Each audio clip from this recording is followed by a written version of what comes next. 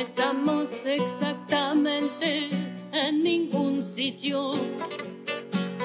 Somos esos arcángeles negros que solo aparecen para enfrentarse con la muerte.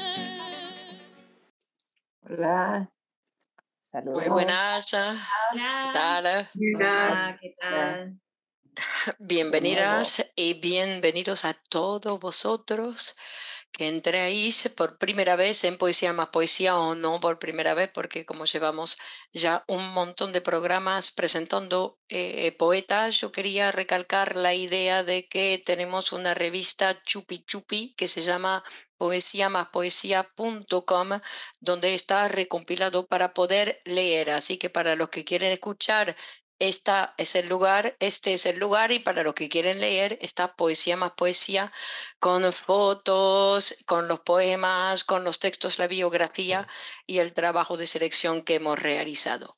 Eso quería decir antes del inicio. Muy bien. Y vamos a descubrir qué poeta presentamos hoy. Vamos a, a descubrir a Leonie Sachs que se, eh, como poeta es Nelly Sachs. El, el, micrófono está un poco lejos. Bueno, Nelly Sachs es una poeta que nació en Berlín, Alemania, el 10 de diciembre de 1891, en una familia judía. Sus padres eran los ricos fabricantes de caucho natural y gutapercha George William Sachs 1858-1930, y su esposa Margarete, de soltera Carger, 1871-1950. De salud delicada, recibió una esmerada educación dirigida por instructores privados y más tarde asistió a una escuela superior de niñas. Cuando cumplió 15 años, le regalaron la novela La saga de Gosta Berlin, de Selma Lagerlof, primera mujer a la que concedieron el Premio Nobel de Literatura en 1909. Y su lectura le impactó tanto que escribió a la autora e inició con ella un importante vínculo epistolar. Le dedica su primera obra, Leyendas y Relatos, de 1921. También mantuvo extensa correspondencia con la poeta Hilde Domin. Desde los 17 años publica poesías en diversos periódicos de Berlín y Múnich. Varios familiares y amigos murieron víctimas de la persecución antisemita. Ella y su madre se salvaron del exterminio nazi gracias a la intercesión de Selma Lagerlof, que poco antes de morir gestionó el salvoconducto que las permitió instalarse en Suecia. Nelly Sachs aprendió sueco y sobrevivió traduciendo al alemán la obra de poetas suecos y al sueco la obra de poetas alemanes. Consigue la nacionalidad sueca en 1952. Bueno, leemos una primera ronda y vemos cómo es la poesía.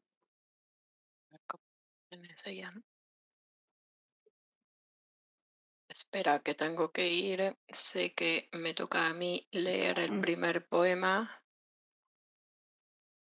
Aquí lo tengo, aquí lo tengo.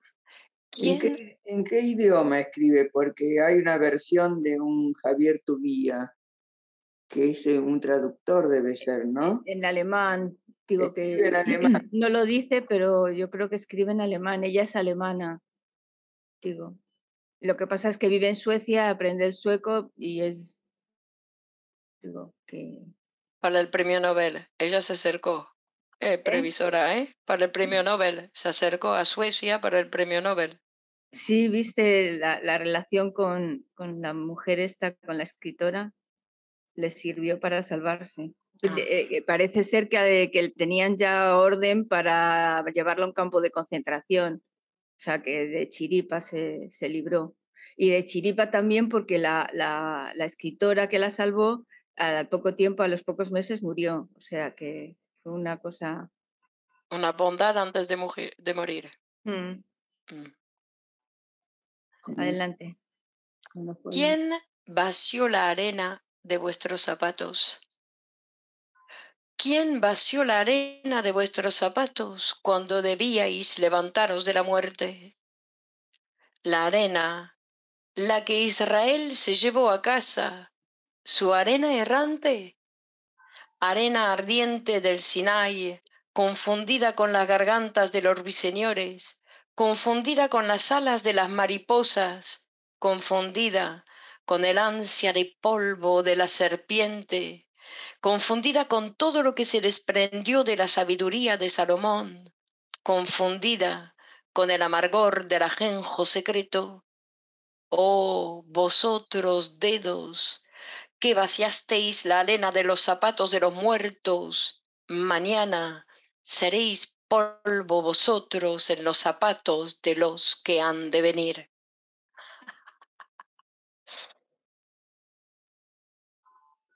La morada de, de qué libro es, Clemons? En las moradas de la muerte, el libro. Es una versión de Javier Tubía. Y aquí leería Alejandra, que está en un congreso de medicina. Estamos tan heridos. Eso es. Estamos tan heridos que creemos morir cuando la calle nos lanza una mala palabra. La calle no lo sabe, pero no soporta semejante carga. No está acostumbrada a soportar un vesubio de dolores sobre ella. Han sido devastados los recuerdos de los tiempos antiguos. Desde entonces, la luz es artificial y los ángeles ya solo juegan con pájaros y flores o sonríen en el sueño de un niño. Del libro Eclipse Estelar, versión de Manuel Zuburía.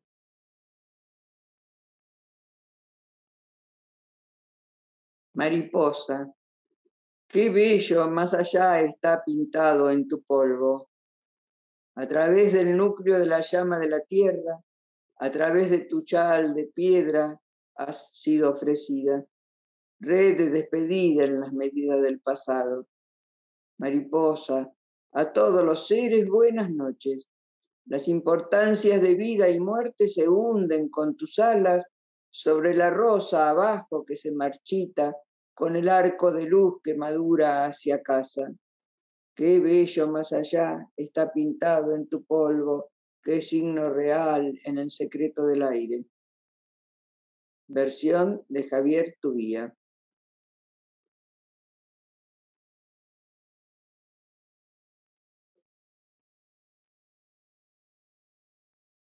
No se escucha. No se escucha. Lenguas saladas del mar. Lenguas saladas del mar lamen las perlas de nuestra enfermedad. La rosa en el horizonte, un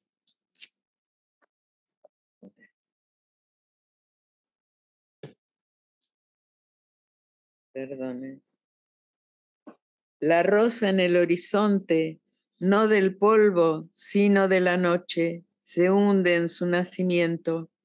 Aquí, en la arena, tu negra cifra recubierta de tiempo crece como cabello todavía en la muerte.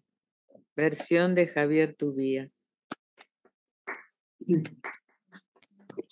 Bailarina, bailarina nupcial de la habitación de los ciegos, concibes tú lejanos días de creación, ansiedad creciente.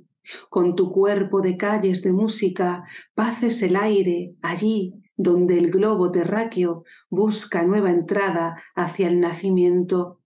A través del lava nocturna, como párpados que se desatan en silencio, parpadea el grito primerizo de los volcanes de la creación. En el ramaje de tus miembros construyen las sospechas sus gorjeantes nidos. como una que ordeña en el crepúsculo, tiran las puntas de tus dedos de las fuentes ocultas de la luz, hasta que tú, perforada por el martirio de la tarde, entregas la luna de tus ojos y la, a la vigilia. Bailarina, puerpera, que gira tú sola, llevas oculto cordón umbilical en tu cuerpo, legadas al Dios, joyas gemelas de muerte y nacimiento. Del libro de Huida y Transformación, versión de Javier Tubia. Qué ligera, qué ligera será la tierra, tan solo una nube de amor vespertino, cuando libertada como música, la piedra se arrastra en éxodo y peñas que, como pesadilla acuclillada en el pecho de los hombres presos de melancolía, riegan las venas. Qué ligera será la tierra, tan solo una nube de amor vespertino, cuando la venganza encendida de negro, atraída magnéticamente por el ángel de la muerte, reventada, fría y silenciosamente en su falda de nieve. Qué ligera será la tierra, tan solo una nube de amor vespertino cuando lo astral desapareció, cuando lo astral desapareció con un beso de rosas de la nada. Versión de Javier Tubía. Viene uno, viene uno de lejos, con un idioma que quizás encierra el laúd, con el relincho de una lengua, con el relincho de la yegua, o con el piar de los jóvenes mirlos negros, o también como una crujiente sierra que trincha toda proximidad. Viene uno de lejos, con movimiento del perro, o quizás de la rata, y es invierno. Por tanto, viste lo caliente. También puede ser que tenga fuego bajo las suelas. Quizá cabalgó sobre un meteoro. Por tanto, no lo riñas. Si acaso tu alfombra acribillada chilla. Un extraño lleva siempre su patria bajo el brazo como una huérfana para la que él quizá nada, nada busca, sino una tumba. Versión de Javier Tubía. Bueno. Marcadas para siempre por el holocausto del que escapó, retomó su propia obra poética escribiendo sobre el trágico destino de los suyos, influenciada por el Zohar, la tradición cabalística, el hasidismo, la Biblia y la mística de Jacob Bohm. En Las Moradas de la Muerte, que hemos leído un poema, 1947, fue su primera obra en el exilio. Poemario que se considera como el centro de su producción literaria. Es un libro dedicado a sus hermanos y hermanas desaparecidos en los campos de exterminio nazis, con un lenguaje de sobrio despojamiento que recoge ecos de los libros proféticos y los salmos del Antiguo Testamento Evoca en él los padecimientos del pueblo judío a través de un complejo entramado de símbolos que alcanza particular intensidad en Plegarias por el novio muerto.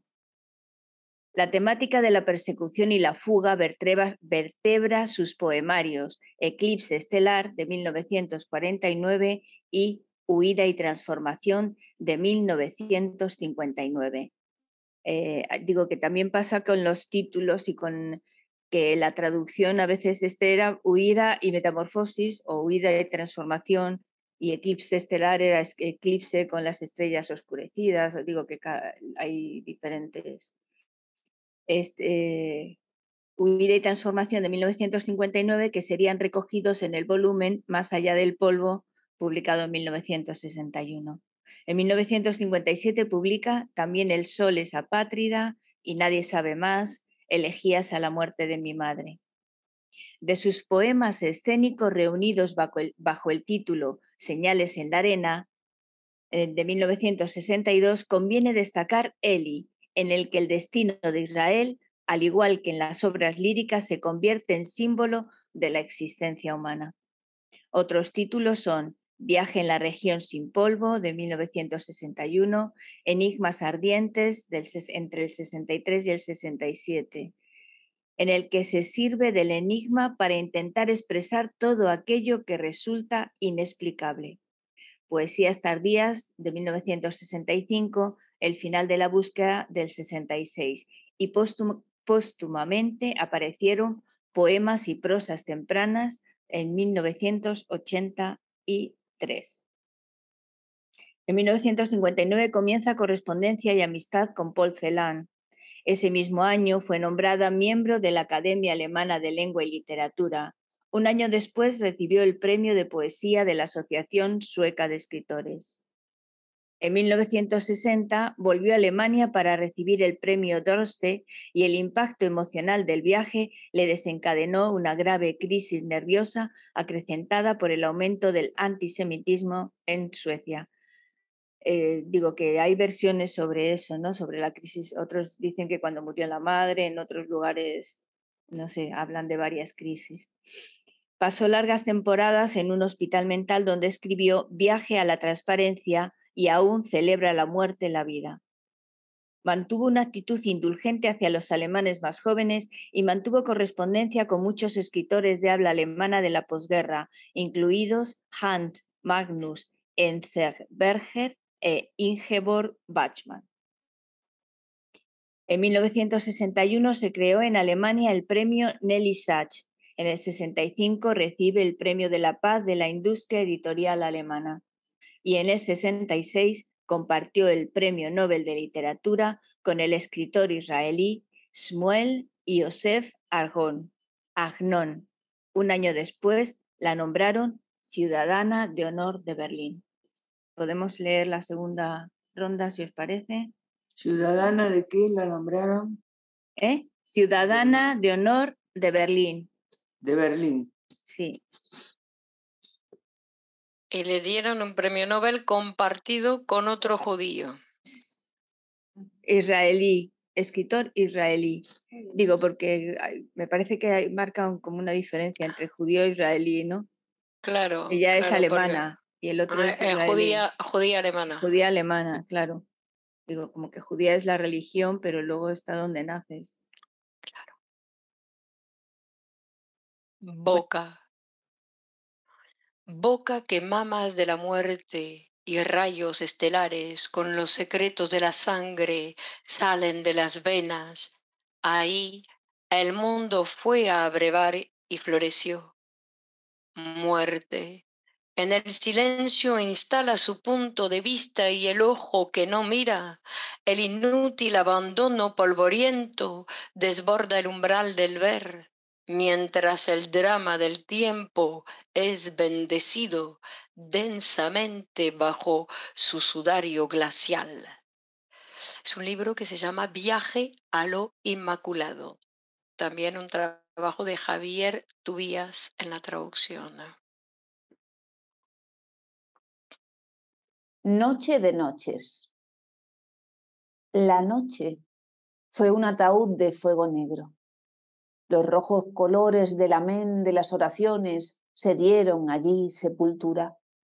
En esos enraizados dientes de púrpura, cabellos y el cuerpo, un árbol sacudido en viento espiritual, oscura visión, este querubín de un día se encendió. Las llamas en la red arterial corrieron hacia su significado. En la ceniza de resurrección sonó música. Versos, versión de Javier Tubía. Desesperadamente llamas ahora desde la oscuridad. Desesperadamente llamas ahora desde la oscuridad al único hombre. Espera un instante todavía y tú caminas sobre el mar. El elemento te penetra ya los poros, te hunde, y te alza con él, y pronto, reencontrada en la arena y junto a las estrellas esperando huésped que vuela y en el fuego de la reunión consumido, calma, calma. Es del libro de, de Enigmas que Arden, versión de Javier Tubía.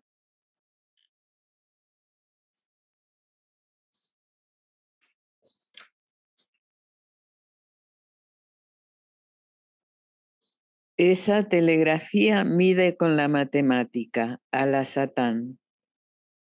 Esa telegrafía mide con la matemática a la Satán los lugares sensiblemente musicales en mi cuerpo. Un ángel construido con el deseo del amor muere y resucita en las letras en las cuales, viajo. Versión de Javier Tubía. A la Satán, ¿qué quiere decir, Clemons?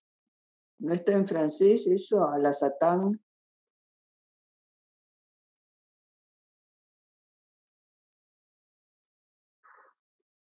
¿Lo encuentras? ¿Cle? del sonido, perdón, que lo estaba eh, buscando. Eh, Esa telegrafía mide con la matemática a la Satán. Veo. Satán se escribe.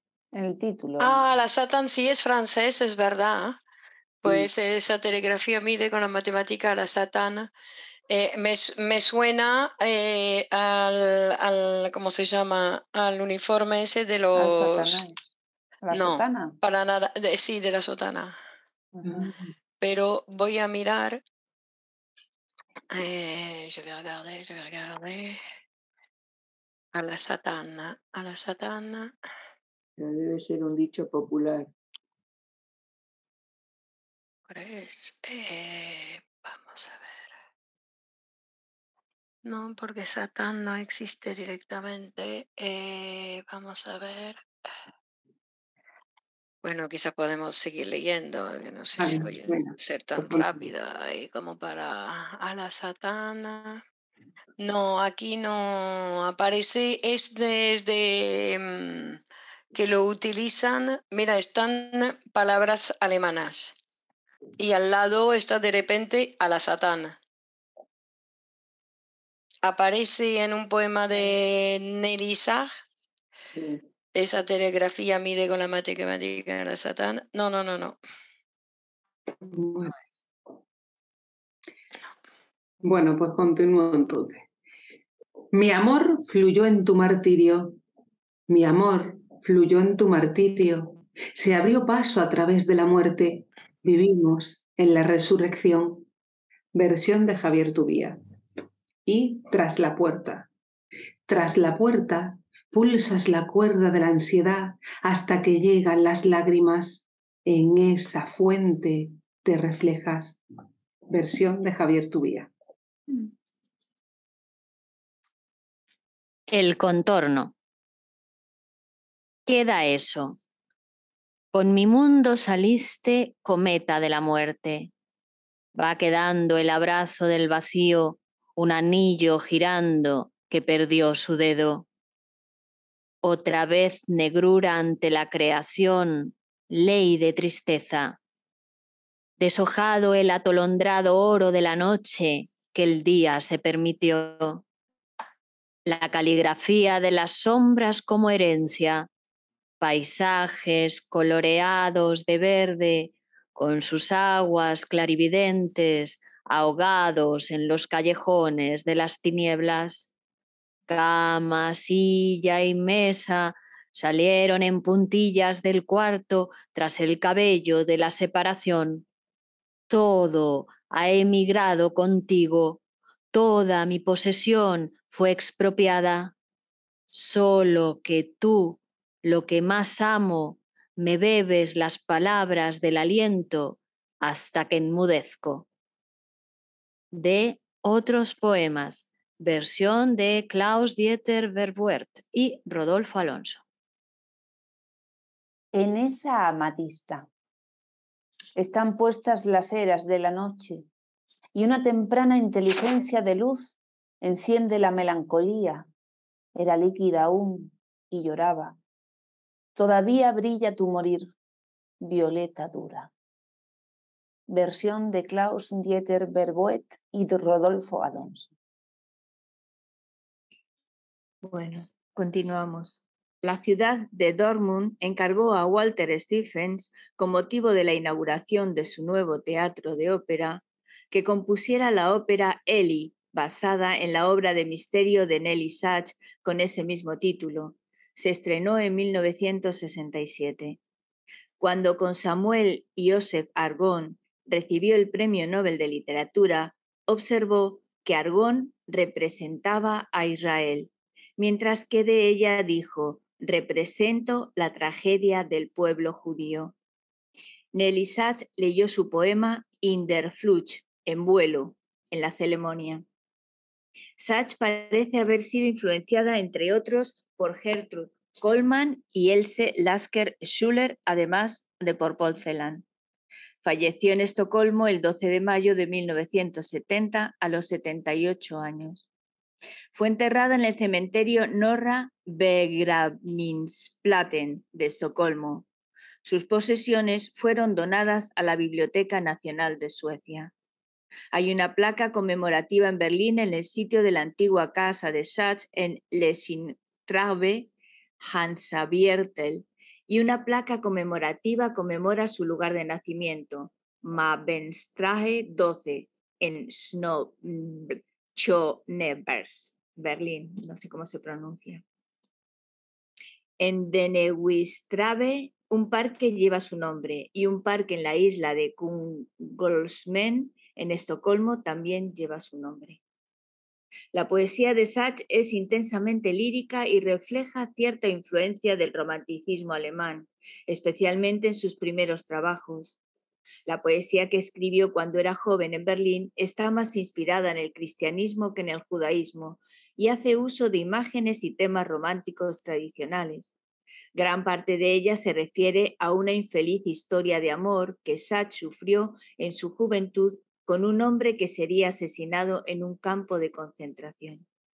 Después de que Sachs se enteró de la muerte de su único interés amoroso, vinculó su destino con el de su gente y escribió muchas letras de amor que terminaron no solo en la muerte del amado, sino también en la catástrofe del holocausto. La propia Sachs ya no llora como una amante abandonada, sino como una personificación del pueblo judío en su irritada relación con la historia y Dios. Su fusión de dolor con elementos sutilmente románticos está de acuerdo con las imágenes de la Cábala, donde la Shekinah representa, representa la presencia de Dios en la tierra y lamenta la separación de Dios de su pueblo en su sufrimiento. Así, el romanticismo de Sachs le permitió evolucionar de una escritora alemana a una judía, con el correspondiente cambio en su lenguaje.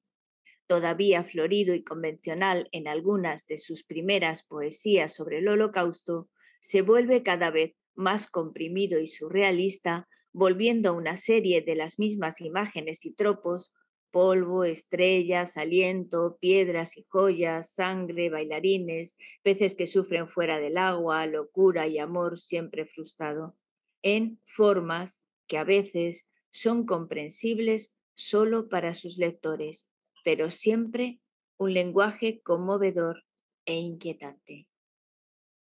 Bueno, hasta aquí la bibliografía y hay una tercera ronda que si queréis leemos. La leemos, ¿no? La leemos. Coro de los consoladores. Somos jardineros que nos hemos quedado sin flores. No se puede plantar ninguna hierba medicinal de ayer para mañana. La salvia se ha marchitado en las cunas, el romero ha perdido su aroma delante de los nuevos muertos, incluso el ajenjo estuvo amargo solo ayer. Las flores del consuelo brotaron demasiado brevemente, no alcanzan para el dolor de una lágrima de niño. Quizá nueva semilla arraigue en el corazón de un cantor nocturno. ¿Quién de nosotros puede consolar? En las profundidades del desfiladero entre el ayer y el mañana está el querubín Pulveriza con sus alas el rayo del dolor, pero sus manos mantienen separadas las rocas del ayer y del mañana, como los bordes de una herida que debe permanecer abierta y aún no puede sanar. Los rayos del dolor no dejan conciliar el sueño al campo del olvido. ¿Quién de nosotros puede consolar? Jardineros somos y nos hemos quedado sin flores y estamos sobre una estrella que irradia y lloramos. Versión de Javier Tubías.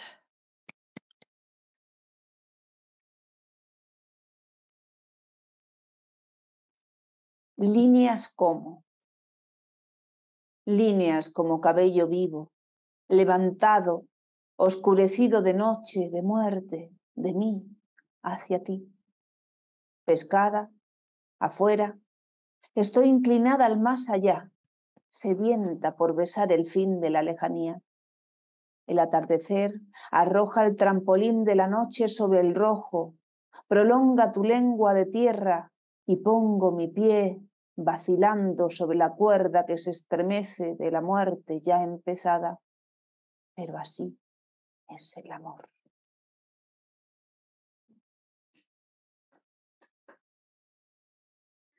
Hace mucho que hemos olvidado el escuchar.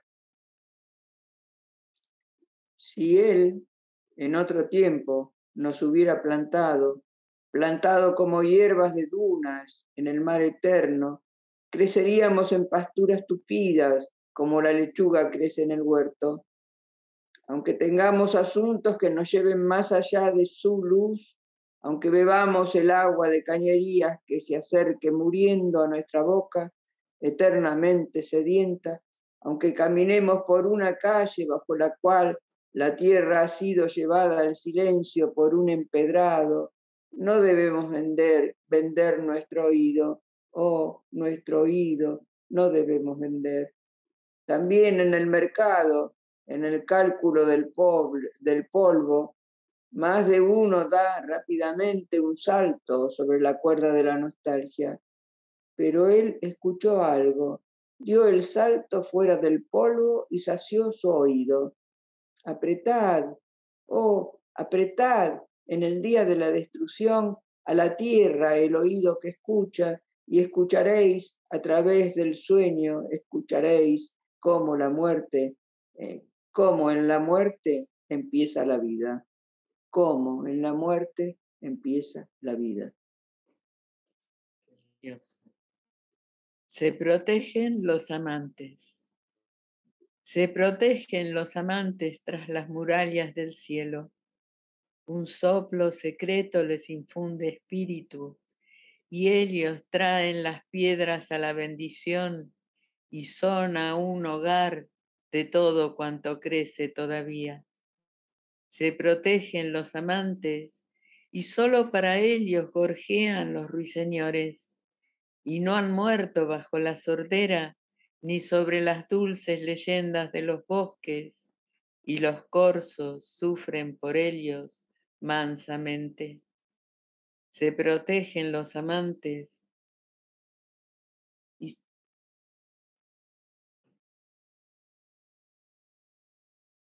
y hallan el dolor oculto del sol de los atardeceres que sangra en la rama de los sauces y sonrientes en la noche ensayan el morir, la muerte dulce en la tristeza que fluye en la nostalgia.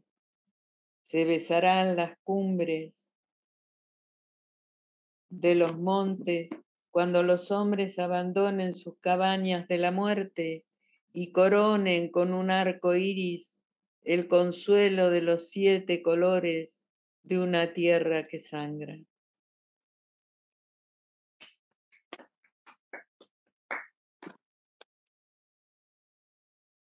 ¿Qué buscas, huérfano sintiendo aún en la tierra la era glacial de tus muertos? Las azules lunas aclaran ya la noche extranjera. Más rápida que el viento, mezcla la muerte las cartas negras, tal vez un arco iris desprendido de las escamas del pez. Cerró ahora los ojos, de tu padre, sal marina y lágrimas en la venda de muertos, transitoriedad. Tal vez el beso omitido de la madre descansa en el bramido de polvo de la garganta del lobo. El verdugo, en las tinieblas cargadas de culpa, ha escondido su dedo profundamente en el pelo del recién nacido que ya hace brotar años luz en cielos no soñados. De la tierra, la lengua de ruiseñor canta en tus manos huérfano, que buscan en el adiós que se volvió negro de la arena, lo amado buscan, que hace tiempo desapareció de dientes de estrellas aserrados, cortantes.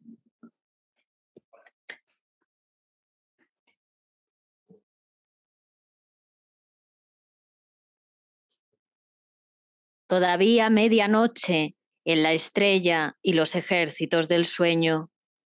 Solo algunos de los grandes desesperados han amado tanto que saltó el granito de la noche ante la cornamenta que corta en blanco de su rayo.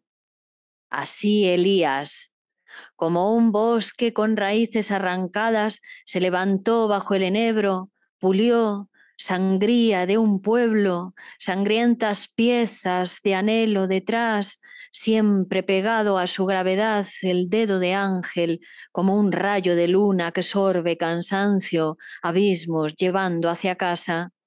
Y Cristo, en la cruz del fervor, solo inclinaba cabeza, colgando la mandíbula con la roca, basta.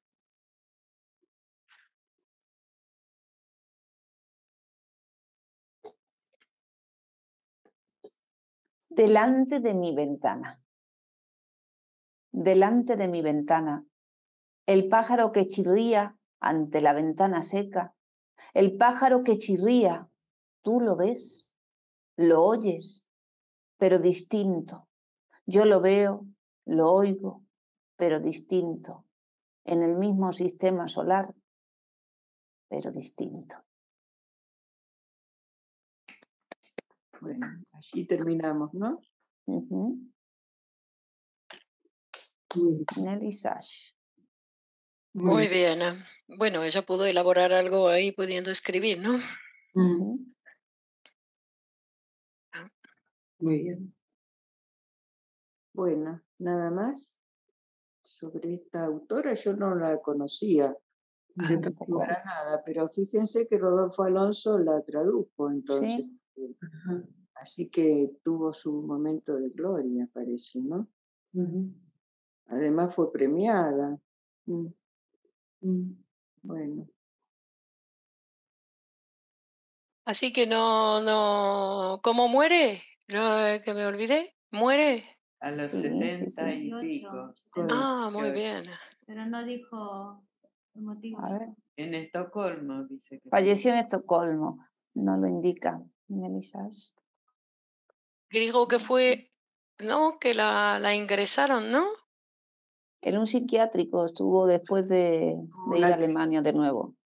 después del sitio alemán, Que, claro, el Que la invitaron a Alemania y cuando fue volvió locos a muchos. Claro, por el holocausto. mm, no está indicado porque murió. Eh, claro.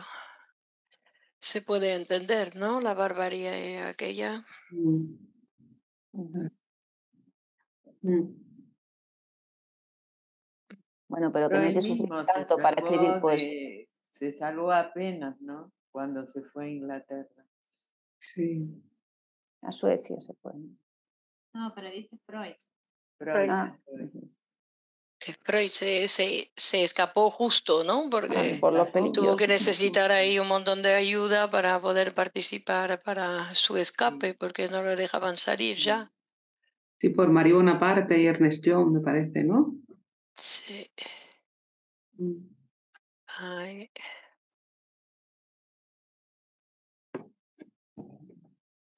Bueno, pues seguimos la Bien. próxima semana. Si no conoces todavía página web de Poesía más Poesía, te invitamos a hacerlo y suscribirte a la revista es gratuito www.poesía Cada semana un nuevo poeta en tus pantallas y también en esa versión de la revista por escrito con, con fotografías y con ese apartado biográfico que nos introduce un poco en, las características personales y en la relación eh, del poeta con, con, su obra y con otras personas de, de, su época. Así que seguimos la próxima semana, el próximo jueves, aquí en el plató de Poesía más Poesía, con un nuevo poeta. ¿A quién le toca? Elena, me toca... ¿ya salió tu libro de poemas número 4? Sí. Es verdad. Ah, la Felicidades. Ahí está. Felicidades, Elena. Muchas gracias. El cuarto bebé. Muy bien. Tiene familia numerosa.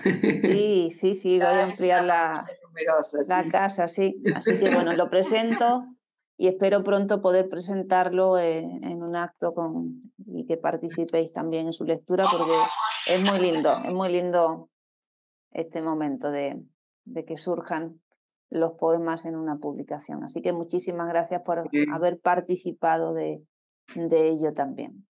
Bueno, A ti, por escribir. muy bien. Gracias. Muy bien, Seguimos enhorabuena. La próxima. Adiós. Chao. Chao, chao. Adiós. No estamos exactamente en ningún sitio. Somos esos arcángeles negros.